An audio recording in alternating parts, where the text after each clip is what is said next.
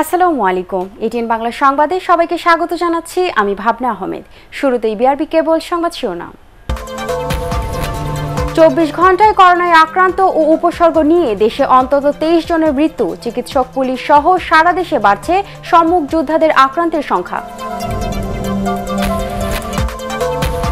Corona মহামারীর কারণে আগামী শিক্ষাবর্ষের পাঠ্য বই ছাপার প্রস্তুতি শেষ করতে পারেনি এনসিটিবি। সময়মতো শিক্ষার্থীদের হাতে বই না পৌঁছার আশঙ্কা।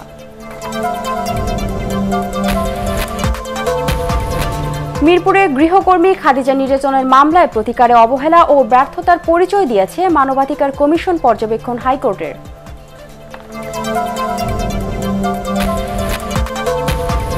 এবং করোনায় লাতিন আমেরিকা ও ক্যারিবীয় অঞ্চলে মৃতের সংখ্যা ছাড়িয়েছে এক লাখ। সংক্রমণ বাড়তে থাকায় জার্মানির একাধিক এলাকা আবারও লকডাউন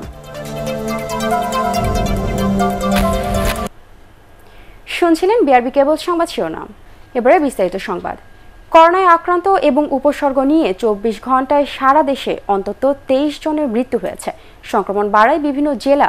লকডাউন করা হলেও রেড জোন ঘোষিত নারায়ণগঞ্জ সিটি কর্পোরেশন এলাকায় নেই এই কড়াকড়ি। বিভিন্ন অঞ্চলে বাড়ছে চিকিৎসক, পুলিশ সহ সম্মুখ যোদ্ধাদের আক্রান্তের সংখ্যা। জেলা প্রতিনিধিদের পাঠানো ছবি ও তথ্য নিয়ে রিপোর্ট করছেন হাবিবুর রহমান অভি।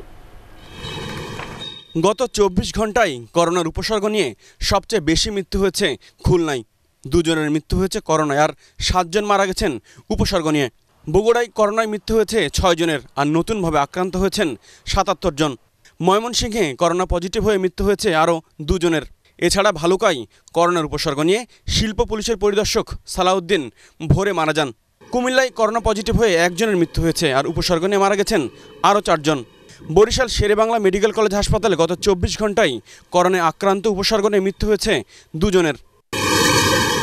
এদিকে নারায়ণগঞ্জের চারটি এলাকাকে রেড জোন ঘোষণা করা হলেও লকডাউন করা হয়েছে শুধু রূপগঞ্জ সদর ইউনিয়নকে। রেড জোন এলাকাগুলোতেও স্বাস্থ্যবিধি মানতে অনীহা বাসিন্দাদের।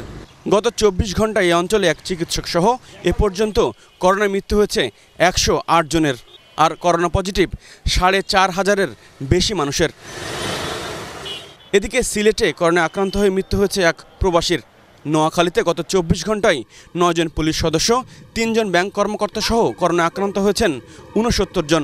নেত্রকোনায় একদিনে করোনায় আক্রান্ত হয়েছেন উনআশি জন। তিন চিকিৎসক ও পুলিশ সদস্য সহ সাতচল্লিশ জন এ ভাইরাসে আক্রান্ত হয়েছেন ব্রাহ্মণবাড়িয়ায়। এছাড়া হবিগঞ্জে একান্ন জন, বান্দরবানে আটত্রিশ জন, চুয়াডাঙ্গায় সাতজন করোনা আক্রান্ত হয়েছেন। সারা দেশে যখন করোনায় আক্রান্তের সংখ্যা হু হু করে বাড়ছে, তখনও কিছু জেলায় নিয়মনীতির কোনো তোয়াক্কা করছেন না স্থানীয় বাসিন্দারা। যশোরের বেনাপোলে লকডাউন দেওয়া হলেও একই চিত্র। এমনকি অনেক জায়গায় ভেঙে ফেলা হয়েছে ব্যারিকেড। হাবিবুর রহমান, অভি, এটিএন বাংলা। করোনা সংক্রমণ এড়াতে কক্সবাজার, মাগুরা, খুলনা ও হবিগঞ্জ জেলার কয়েকটি এলাকা রেড জোন হিসেবে চিহ্নিত করে আজ থেকে বিভিন্ন মেয়াদে সাধারণ ছুটি ঘোষণা করা হয়েছে। গতকাল সন্ধ্যায় জনপ্রশাসন মন্ত্রণালয়ের এক প্রজ্ঞাপনে এ তথ্য জানানো হয়।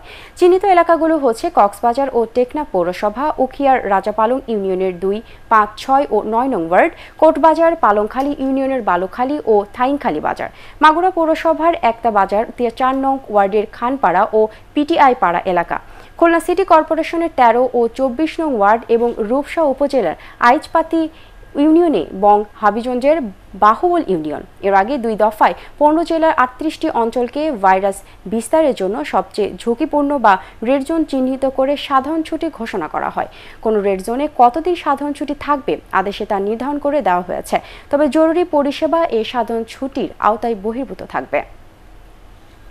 করোনা সংক্রমণ যে হারে বেড়েছে, সে অনুপাতে নমুনা পরীক্ষা বাড়েনি বলে মন্তব্য করেছেন Jatiya party chairman G M Quader. উপসর্গ নিয়ে পরীক্ষা করাতে গিয়েও অনেকে হয়রানির শিকার হচ্ছে বলে মন্তব্য করেন তিনি। পাশাপাশি ফলাফল পাওয়ার দীর্ঘসূত্রিতার কারণে আক্রান্ত ব্যক্তির মাধ্যমে আরও অনেকেই সংক্রমিত হচ্ছে বলেও অভিযোগ করেন তিনি। গণমাধ্যমে পাঠানো এক ভিডিও বার্তায় জাপ, জাপা চেয়ারম্যান এসব কথা বলেন। প্রতিটি জেলার আরটিসিপিআর ল্যাব স্থাপন জরুরি বলেও মন্তব্য করেন তিনি। সর্ব নিয়ে অনেক রোগী ঘুরে বেড়াচ্ছেন টেস্ট করানোর জন্য। টেস্টের স্যাম্পল দেওয়ার পরেও টেস্ট রেজাল্ট আসতে কোনো কোনো সময় দশ থেকে পনেরো দিন সময় লাগছে। প্রতিটি জেলায় যে কোনোভাবেই হোক এই করোনা রোগী শনাক্তকরণ টেস্টিং এর ব্যবস্থা করতে হবে জরুরি ভিত্তিতে। করোনা মহামারীর মধ্যে বিদ্যুৎ ও জ্বালানি তেলের দাম বাড়ানো হলে কঠোর আন্দোলনের হুঁশিয়ারি দিয়েছেন বিএনপির সিনিয়র যুব মহাসচিব রুহুল কবির রেজবি নয়াপল্টনে দলের কেন্দ্রীয় কার্যালয় থেকে পাঠানো ভিডিও বার্তায় তিনি এ হুঁশিয়ারি দেন। এ মহামারীর মধ্যে এমনিতেই জনজীবন সাধারণ, ধারণ দুর্বিষহ হয়ে উঠেছে। এর মাঝে বিদ্যুৎ ও জ্বালানি তেলের দাম বাড়ানো হলে তা মরার উপর খাড়ার ঘা হবে বলেও মন্তব্য করেন তিনি। আমি বিদ্যুৎ ও জ্বালানির দাম জন্য সংসদে উত্থাপিত বিলের বিরুদ্ধে শুধুমাত্র তীব্র নিন্দা নয় জানাচ্ছি। সংসদে এই আইন পাস না করার জন্য আহ্বান জানাচ্ছি। অন্যথায় এই করোনা কালের মধ্যেও তীব্র আন্দোলন গড়ে তোলা। করোনা মহামারীর কারণে পিছিয়ে গেছে আগামী শিক্ষাবর্ষের পাঠ্য বই ছাপার কাজ। এখনও দরপত্র আহ্বান, কার্যাদেশ, কাগজ কেনা সহ কোনো কাজই শেষ করতে পারেনি জাতীয় শিক্ষাক্রম ও পাঠ্যপুস্তক বোর্ড এনসিটিবি। তাই সময় মতো শিক্ষার্থীদের হাতে বই পৌঁছাতে না পারার সংখ্যা তৈরি হয়েছে। বাংলাদেশ মুদ্রণ শিল্প সমিতি বলছে, এনটিসিবি আরও দেরি করলে সময় মতো বই ছাপানো কঠিন হবে। বিস্তারিত হুমায়ুন চিস্তির রিপোর্টে। বছরের প্রথম দিনেই বই উৎসবের মাধ্যমে শিক্ষার্থীদের হাতে বিনামূল্যে তুলে দেওয়া হয় নতুন বই।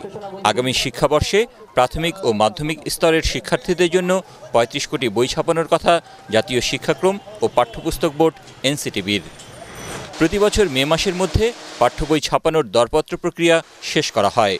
জুন মাসে কার্যাদেশ দেওয়ার পর জুলাই ও আগস্ট মাসে প্রেসগুলোতে বই ছাপানো শুরু হয়।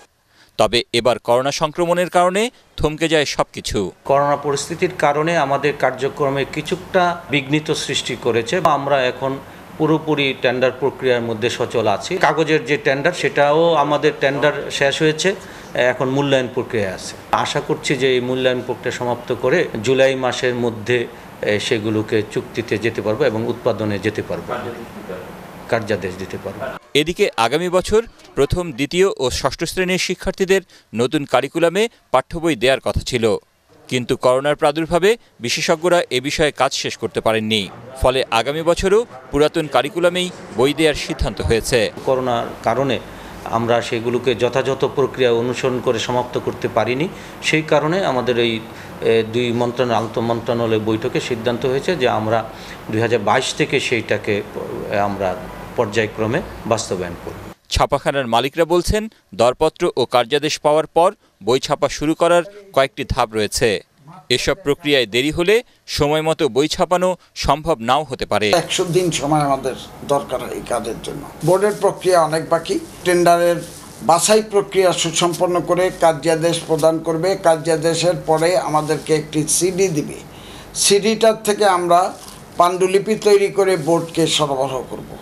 বোর্ড তখন আমাদেরকে মুদ্রণাদেশ দিলে পরে আমরা এই বইটির মুদ্রণ শুরু করব। বোর্ড যদি দেরি করে আমার জন্য চ্যালেঞ্জ আরও বৃদ্ধি পাবে। তিনি বলেন নির্ধারিত সময়ের মধ্যে বই ছাপার কাজ শেষ করতে হলে বেশি ছাপাখানাকে এ কাজে সম্পৃক্ত করতে হবে। প্রায় ৩৫ কোটি নতুন বই বছরের প্রথম দিনেই সাড়ে চার কোটি শিক্ষার্থীর হাতে তুলে দিতে বছরের এই সময়টাতে প্রচণ্ড ব্যস্ত থাকে ছাপাখানাগুলো।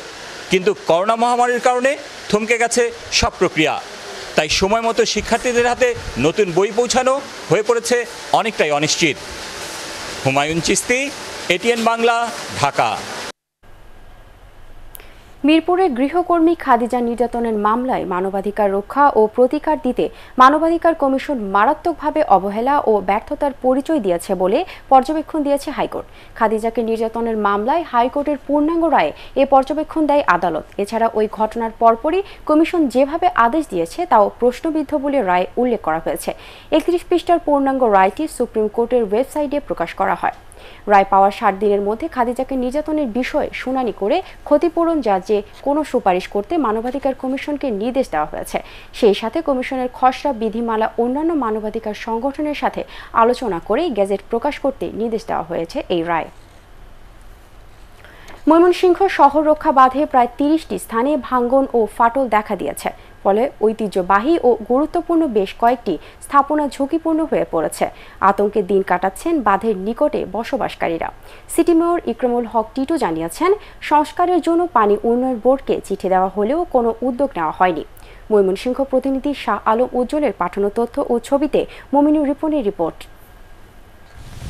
ময়মনসিংহে পুরাতন ব্রহ্মপুত্র নদের ডান তীরে প্রায় দুই যুগ আগে আট কিলোমিটার দৈর্ঘ্যের শহররক্ষা বাঁধ নির্মাণ করা হয়েছিল। ত্রুটিপূর্ণ নির্মাণ কাজের কারণে এই বাঁধ প্রতি বছর সংস্কার করতে হয়। গত কয়েকদিনের বৃষ্টিতে নদের পানি বৃদ্ধি পাওয়ায় ঝুঁকিপূর্ণ হয়ে পড়েছে বাঁধের প্রায় ত্রিশটি স্থান। পরিকল্পনা করে স্থায়ীভাবে যেটি যেন প্রতি বছর না ভাঙে বা এরকম ইমার্জেন্সি ওয়ার্ক করতে না হয় সেই ব্যবস্থা নেওয়া কর্তৃপক্ষের এখন সময় এসেছে। গুরুত্বপূর্ণ স্থাপনাগুলি রক্ষার লক্ষ্যে জরুরি ভিত্তিতে এই বাঁধটা সংস্কার করা হোক তাহলে কিন্তু নদী গর্ভে আমাদের এই- এই স্থাপনাগুলি চলে যাবে। বাঁধের ক্ষতিগ্রস্ত স্থানগুলো জরুরি ভিত্তিতে মেরামত করা না হলে শিল্পাচার্য জয়নুল আবেদিন সংগ্রহশালা, জয়নুল পার্ক, ঐতিহ্যবাহী সার্কিট হাউস সহ অনেক গুরুত্বপূর্ণ স্থাপনা পানির নিচে তলিয়ে যাওয়ার শঙ্কা তৈরি হয়েছে। ময়মনসিংহ সিটি কর্পোরেশনের মেয়র ইকরামুল হক টিটুর অভিযোগ, বাঁধটি সংস্কারের জন্য পানি উন্নয়ন বোর্ডকে বারবার চিঠি দেওয়া হলেও কোনো ব্যবস্থা নেওয়া হয়নি। এই বছর এটির ভাঙনের প্রবণতা অনেক বেশি। আমরা আশা করব পানি উন্নয়ন বোর্ডের কাছে যে অচিরেই এই বাঁধ যথাযথভাবে নির্মাণের মাধ্যমে এই শহরবাসীকে রক্ষা করবেন। পানি উন্নয়ন বোর্ডের নির্বাহী প্রকৌশলী মোহাম্মদ মুসা জানিয়েছেন ভাঙন এলাকায় সংস্কার কাজ শুরু হয়েছে। শেষ হতে অন্তত দু সপ্তাহ লাগবে। সেগুলো আমরা জরুরি ভিত্তিতে ঠিকাদার নিয়োগ করে মেরামত করতেছি। মেরামত করতে পনেরো দিন সময় লাগবে ইনশাল্লাহ করি দিন শেষ। বাঁধের সংস্কার কাজ করতে প্রতিবারই লাখ লাখ টাকা খরচ করা হয়। তবুও ঝুঁকির মাঝেই থেকে যায় দেশের অষ্টম বিভাগীয় এই শহরটির একাংশ। তাই বাঁধটিকে আরও মজবুত করে তোলার দাবি এলাকাবাসীর। মইনুর রিপন, এটিএন বাংলা। এদিকে ভারী বর্ষণ আর উজানের ঢলের কারণে কুড়িগ্রামের উপর দিয়ে প্রবাহিত ব্রহ্মপুত্র, তিস্তা, দুধকুমার সহ সবকটি নদ নদীর পানি বৃদ্ধি অব্যাহত রয়েছে। পানি ঢুকে পড়েছে চর ও দ্বীপচর সহ নদীর তীরবর্তী নিম্নাঞ্চলে পানিবন্দী হয়ে পড়েছে এসব এলাকার মানুষ। পানি বাড়ার সাথে সাথে বিভিন্ন স্থানে দেখা দিয়েছে নদী ভাঙ্গন। তলিয়ে যেতে শুরু করেছে গ্রামীণ রাস্তাঘাট, উঠতি ফসলের ক্ষেত। ব্রহ্মপুত্রের পানি যাত্রাপুর ইউনিয়নের অন্তত পনেরোটি গ্রামে ঢুকে পড়েছে বলে জানান চেয়ারম্যান আয়ুব হোসেন। স্থানীয় পানি উন্নয়ন বোর্ড জানায়, গত চব্বিশ ঘন্টায় ব্রহ্মপুত্রের পানি চিলমারি পয়েন্টে তিন সেন্টিমিটার নুনখাওয়া পয়েন্টে পাঁচ সেন্টিমিটার এবং তিস্তা নদীর পানি কাউনিয়া পয়েন্টে সাত সেন্টিমিটার বৃদ্ধি পেয়ে বিপদসীমার নিচ দিয়ে প্রবাহিত হচ্ছে। করোনাভাইরাস, লাতিন আমেরিকা ও ক্যারিবীয় অঞ্চলে মৃতের সংখ্যা এক লাখ ছাড়িয়ে গেছে। এর মধ্যে অর্ধ লক্ষাধিক মারা গেছে কেবল ব্রাজিলে। জনস হপকিন্স বিশ্ববিদ্যালয়ের তথ্য অনুযায়ী সে দেশে আক্রান্তের সংখ্যা প্রায় সাড়ে এগারো লাখ।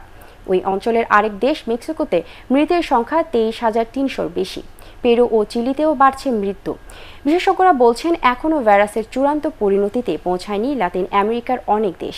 এদিকে করোনা ভাইরাসের প্রাদুর্ভাবে সবচেয়ে বিপর্যস্ত যুক্তরাষ্ট্রে নতুন করে সংক্রমণ বাড়ছে বলে সতর্ক করে দিয়েছে দেশটির শীর্ষ স্বাস্থ্য কর্মকর্তা অ্যান্থনি ফোসে।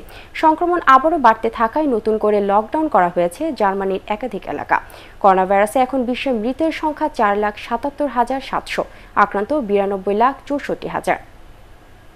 এবারে শেয়ার বাজারের খবর।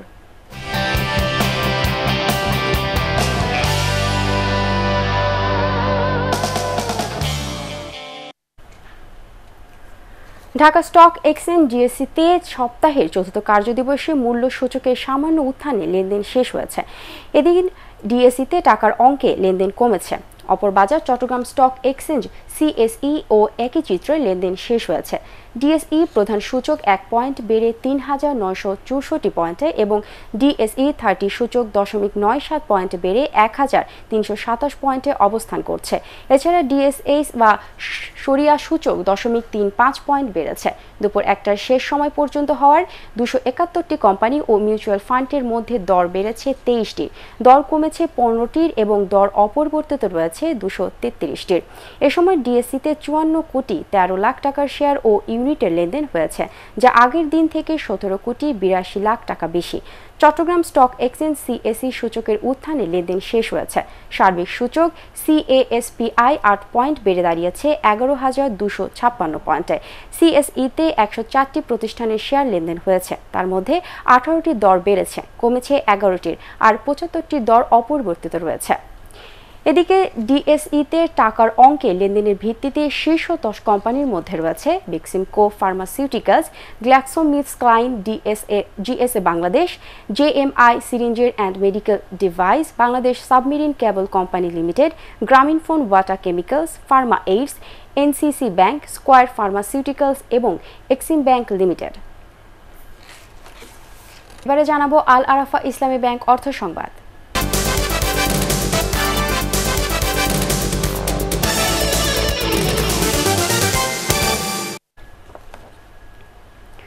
ওয়ালটনে ফ্রিজ কিনে মিলিয়নিয়ার হয়ে গেলেন গাজপুর কোনাবাড়ি দরিদ্র যুবক ওয়াজেদ আলী। কালিয়াকরের চন্দ্রায় ওয়ালটনের হাজি ইলেকট্রনিক শোরুমে আনুষ্ঠানিকভাবে তার হাতে দশ লাখ টাকার চেক তুলে দেওয়া হয়। এ সময় উপস্থিত ছিলেন জেলা আওয়ামী লীগের যুগ্ম সাধারণ সম্পাদক Sikder Mosharraf Hossain, ওয়ালটনের executive director Yusuf Ali, sales and মার্কেটিংয়ের general head Masud Hossain zonal head Masud Hossain online দ্রুত ও সর্বত্র বিক্রয়োত্তর সেবা দেওয়ার লক্ষ্যে ডিজিটাল ক্যাম্পেইন চালাচ্ছেন ওয়ালটন। ক্যাপ্টেনের আওতায় ফ্রিজ, ওয়াশিং মেশিন এবং মাইক্রো ওভেন কিনে দশ লাখ টাকার পাশাপাশি রয়েছে লাখপতি হওয়ার সুযোগ। এবারে আন্তর্জাতিক সংবাদ।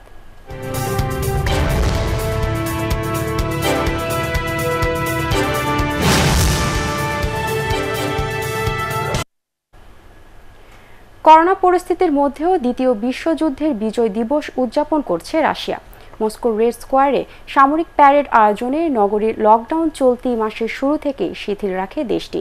রাশিয়ার সবচেয়ে বড় এই বার্ষিক উদযাপন নয় মে অনুষ্ঠিত হবার কথা থাকলেও করোনা মহামারীর কারণে তা স্থগিত করেছিলেন প্রেসিডেন্ট ভ্লাদিমির পুতিন। আজকের এই আয়োজনের মধ্য দিয়ে উদযাপিত হচ্ছে জার্মানির নাৎসি বাহিনীর বিজয়ের পঁচাত্তর বছর, যাতে প্রাণ হারিয়েছিল তৎকালীন সোভিয়েত ইউনিয়নের বিশ লক্ষাধিক মানুষ। প্রিয় সাংবাদিক ভাই ও বোনেরা, সম্মানিত দর্শক শ্রোতাবৃন্দ, দেশবাসী এবং বাংলাদেশি প্রবাসী ভাই ও বোনেরা যে যেখানে আছেন, আসসালামু আলাইকুম। আমি অধ্যাপক ডাক্তার নাসিমা সুলতানা, স্বাস্থ্য অধিদপ্তর থেকে প্রতিদিনের মতো আজও আপনাদের সামনে কোভিড উনিশ দৈনিক স্বাস্থ্য বুলেটিন নিয়ে হাজির হয়েছি। আজ চব্বিশ জুন দুই হাজার বিশ, দশ আষাঢ় চোদ্দোশো সাতাশ। তবে কোভিড বা করোনা ভাইরাসের তথ্য উপস্থাপনের আগে একটি অতি গুরুত্ব, জনগুরুত্বপূর্ণ বিষয়ে সকলের দৃষ্টি আকর্ষণ করছি। স্বাস্থ্য অধিদপ্তরের ইপিআই কর্মসূচির মাধ্যমে দেশের সকল জনগণকে আহ্বান জানানো হচ্ছে যে আপনার শিশুকে নির্দিষ্ট সময়ে টিকা দেওয়ার জন্য নিকটস্থ টিকাদান কেন্দ্রে নিয়ে আসুন। বাংলাদেশ সরকারের মাননীয় প্রধানমন্ত্রীর দিক নির্দেশনায় এবং স্বাস্থ্য মন্ত্রণালয় ও স্বাস্থ্য অধিদপ্তরের তত্ত্বাবধানে বিশ্ব স্বাস্থ্য সংস্থার গাইডলাইন অনুসরণ করে কোভিড উনিশ প্যান্ডেমিক চলাকালীন সারা দেশে টিকাদান কার্যক্রম সুষ্ঠুভাবে পরিচালনার জন্য সম্প্রসারিত টিকাদান কর্মসূচি ইপিআই কর্মকৌশল প্রণয়ন করেছে। বাংলাদেশের প্রতিটি বিভাগ, জেলা, সিটি কর্পোরেশন, উপজেলা ও পৌরসভা পর্যায়ের কর্মকর্তা ও মাঠ পর্যায়ের কর্মী তথা স্বাস্থ্য সহকারী, টিকাদান কর্মী, স্বাস্থ্যকর্মীদেরকে কোভিড উনিশ মহামারী চলাকালীন সময়ে টিকাদান কর্মসূচি পরিচালনার জন্য প্রয়োজনীয় নিয়মাবলী অনুসরণ করার নির্দেশ প্রদান করা হয়েছে। ইতিমধ্যে কোভিড উনিশ মহামারীর কারণে বাদ পড়া বা ঝরে পড়া শিশুদের চিহ্নিতকরণ ও তালিকাভুক্তির মাধ্যমে তাদের টিকাদান নিশ্চিতকরণের কার্যক্রম চলমান রয়েছে। কেন্দ্রে টিকা নিতে আসা সেবা গ্রহীতাগণের ব্যক্তিগত স্বাস্থ্য সুরক্ষা ও সামাজিক দূরত্ব নিশ্চিত করে এবং স্বাস্থ্যকর্মীদের ব্যক্তিগত স্বাস্থ্য সুরক্ষা ও সংক্রমণ প্রতিরোধের জন্য যথাযথ ব্যবস্থা গ্রহণ করে টিকা কার্যক্রম পরিচালনা করছে। যে সমস্ত এলাকায় চলাচল সীমিত করা হয়েছে, সেই এলাকার স্থানীয় প্রশাসনের সাথে সমন্বয় করে টিকা দান কার্যক্রম পরিচালনার জন্য প্রয়োজনীয় দিক নির্দেশনা প্রদান করা হয়েছে। জনগণের সচেতনতার জন্য ইপিআই সেশন পূর্বেই এলাকার মসজিদে মাইকিং করা হচ্ছে। টিকাদান কার্যক্রম নিরবিচ্ছিন্নভাবে রাখতে ভ্যাকসিন ও লজিস্টিক যথেষ্ট পরিমাণে মজুদ রয়েছে। সুতরাং শিশুকে সময় মতো টিকা দিন, শিশুর সুস্থতা নিশ্চিত করুন। এবার আসব আজকের তথ্যে। আজ নতুন আরেকটি পরীক্ষাগার সংযোজিত হয়েছে, যেটা ঢাকার বাইরে চট্টগ্রাম ডিভিশনের ব্রাহ্মণবাড়িয়া জেলায় এবং ছেষট্টিটি পরীক্ষাগারে নমুনা সংগ্রহ এবং নমুনা পরীক্ষা হয়েছে। চব্বিশ ঘন্টায় নমুনা পরীক্ষা হয়েছে সতেরো হাজার দুইশো পঁয়তাল্লিশটি। যেই পরীক্ষাগারটি নতুন সংযোজিত হয়েছে, সেটি হলো একটি বেসরকারি medical college, Brahmanbaria medical college হাসপাতাল। চব্বিশ ঘন্টায় নমুনা পরীক্ষা হয়েছে ষোলো হাজার চারশো তেত্রিশটি এবং এ পর্যন্ত নমুনা পরীক্ষা হয়েছে ছয় লাখ ষাট হাজার চারশো চুয়াল্লিশটি। চব্বিশ ঘন্টায় যা নমুনা পরীক্ষা হয়েছে, তাতে শনাক্ত হয়েছে তিন হাজার চারশো বাষট্টি জন। শনাক্তের হার একুশ দশমিক শূন্য সাত শতাংশ।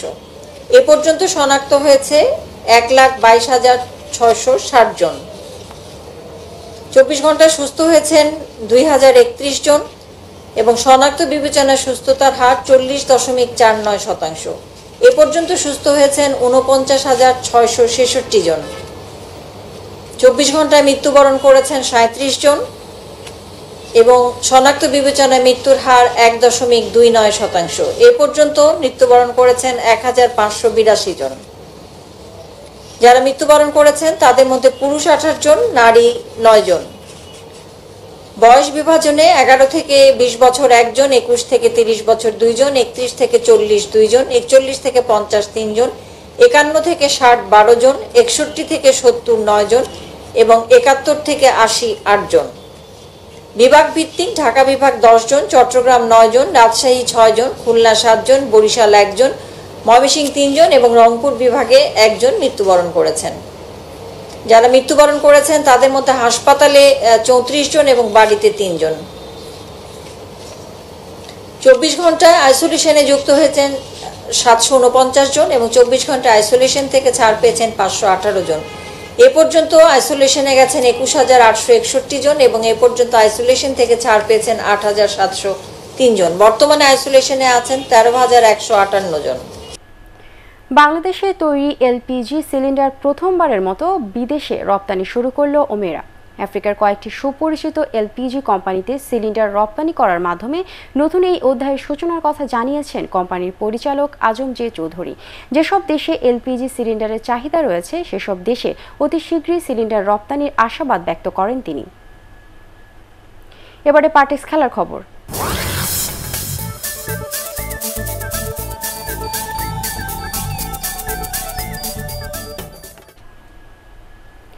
অ্যাথলেটিক ক্লাবকে এক শূন্য গোলে হারিয়ে লা লিগায় পয়েন্ট টেবিলের শীর্ষে উঠেছে বার্সেলোনা। ন্যু ক্যাম্পে চার মিনিটে দলকে গোল খাওয়া থেকে রক্ষা করেন গোলরক্ষক টার স্টেগান। প্রথমার্ধে গোলের তেমন কোনো সুযোগই তৈরি করতে পারেনি বার্সেলোনা। দ্বিতীয়ার্ধে শুরুতে গ্রিজম্যান গোলরক্ষককে একা পেয়েও তা কাজে লাগাতে পারেননি। এরপর একত্রিশ মিনিটে মেসির পাস থেকে দলকে স্বস্তির গোল এনে দেন ইভান রাকিটিজ আর তাতে মেসির তেত্রিশতম জন্মদিনে জয় নিয়ে লিগ টেবিলের শীর্ষে উঠেছে কাতালানরা। তিন পয়েন্ট কম নিয়ে এক ম্যাচ কম খেলে রিয়াল মাদ্রিদ দ্বিতীয়ার্ধে। শেষ করার আগে বিআরবি কেবল সংবাদ শিরোনাম আরেকবার। চব্বিশ ঘণ্টা করোনায় আক্রান্ত উপসর্গ নিয়ে দেশে অন্তত তেইশ জনের মৃত্যু। চিকিৎসক, পুলিশ সহ সারা দেশে বাড়ছে সম্মুখ যোদ্ধাদের আক্রান্তের সংখ্যা। করোনা মহামারীর কারণে আগামী শিক্ষাবর্ষের পাঠ্য বই ছাপার প্রস্তুতি শেষ করতে পারেনি এনসিটিবি সময়মতো শিক্ষার্থীদের হাতে বই না পৌঁছার আশঙ্কা। মিরপুরে গৃহকর্মী খাদিজা নির্যাতনের মামলায় প্রতিকারের অবহেলা ও ব্যর্থতার পরিচয় দিয়েছে মানবাধিকার কমিশন পর্যবেক্ষণ হাইকোর্টের।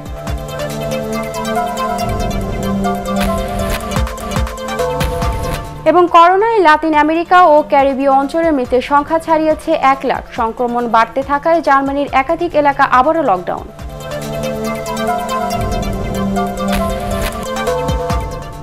দর্শক, পরবর্তী সংবাদ দেখার আমন্ত্রণ জানিয়ে এখনকার মতো শেষ করছি। সবাই ঘরে থাকুন, নিরাপদে থাকুন।